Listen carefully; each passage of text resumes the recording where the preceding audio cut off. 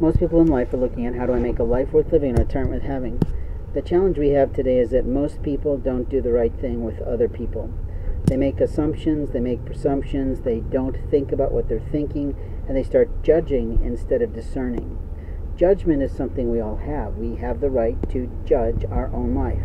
We have the right to evaluate whether we did something right.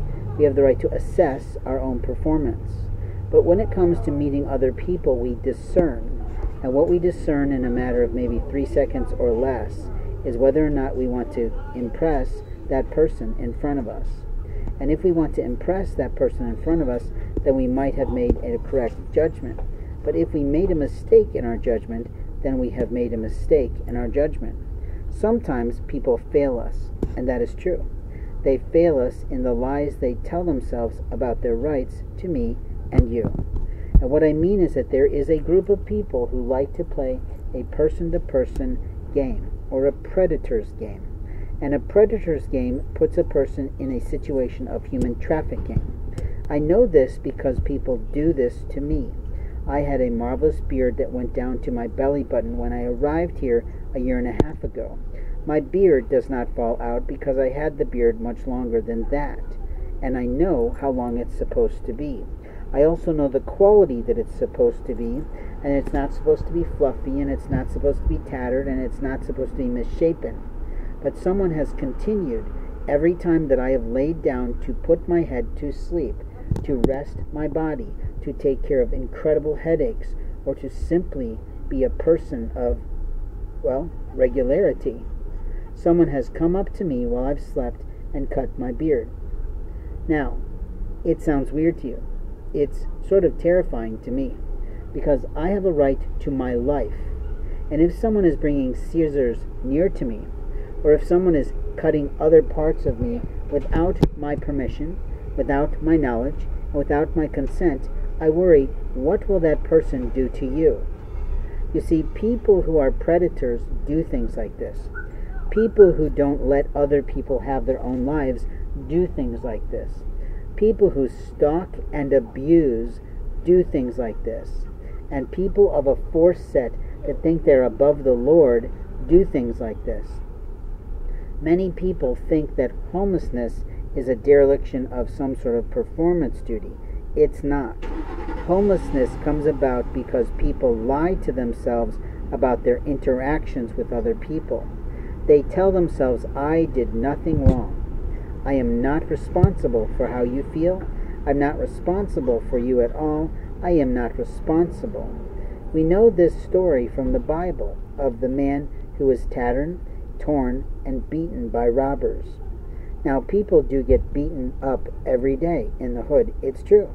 Because what I have seen of a black community in particular, not to be racist, but to be observationalist, is that the young boys of a black community are allowed to pick on each other and practice fighting with each other. Now, if it was a fight club, fine. If it's a boxing match, okay. If it's a martial artist just practicing his thing and teaching others, maybe okay, because in the Japanese form of martial arts and the Korean forms that I've studied, a master is the only one allowed to teach.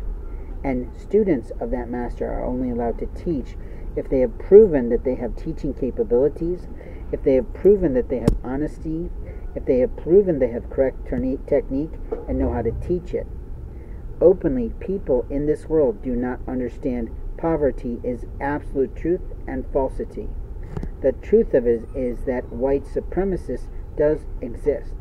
The other truth of this is that black supremacy also exists. You see, when a black person will not acknowledge a white person, is that not supremacy? Is that not a lack of respect for diversity of God's world? But when a human being believes that they have the right to go to someone's body at night without permission, without consent, without any approval from the person who is the one who owns that body in this world, then we have a real problem of American culture. Or we have a real difficulty with foreign predators. You see, a foreign predator might stalk someone. An American asshole might abuse someone, but it is still a form of abuse. And when they decide to remove your clothes and shave other parts of your body without you aware, you have to wonder what did they give you in the food? What did they play in an audio file to put you in the mood to allow that to happen? And what we know is that people can be taken away for weeks on end and never exactly remember what happened to them. Psychology is a marvelous field when we use it correctly, but when we use it to abuse people, to infiltrate people, to prey on people, to profile people, to take away religious rights, or to remove people's hair in the night, I'm not kidding you. It's an abuse of power. It is totally an abuse of God's rights in a person's life. You are not God, motherfuckers. You have failed yourself, and we have COVID. If you didn't get that this COVID attack, this pandemic, this epidemic is caused by you and your lies, you've missed the boat. You see, the boat sailed a while ago on a lot of issues. But if you're still old school about what you think about your rights to another human being's body, you better stop. Jesus Christ is not in you because Jesus Christ has one chapter in the Bible about intimacy, and it is the intimacy between a husband and wife, a spouse and a spouse, and however that is played out. It is also blasphemy to say that you have the right to do things to people at night without their fucking consent. It is illegal and you fucking know it. It is immoral and I'm telling you so, and any pastor that tells you otherwise has lied to you about your rights. Your rights can be taken at any time for the lies you've told yourself to commit crime. Crime is what you're committing. Molestation is what you're doing. Mutilation is also occurring, and you have failed yourself. When you listen to God, you hear only love, honor, regard, and peace. When you listen to yourself, you may hear, do it, just do it, get away with it, try it, abuse it, ruin it, take it away from them.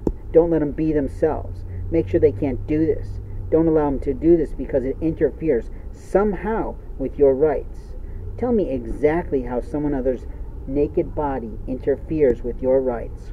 Please tell me exactly how someone's hairstyle or beard style interferes with your rights. Please explain to me why someone's fashion statements they choose to make at any time of their lifetime interferes with your rights to be you. It doesn't, motherfuckers. And when I say this to you, I expect you to hear me. Because if you're not hearing me, then you're abusing me. And you know what? It means I can turn about on you. And when I turn about on you with God's position, with God's direction, and with God's help, does that me make me a godly person? Does that make me a justice oriented person? Does that make me a retaliatory person? Or does that make me of Satan's house? You see, Satan will twist and turn the rules of life.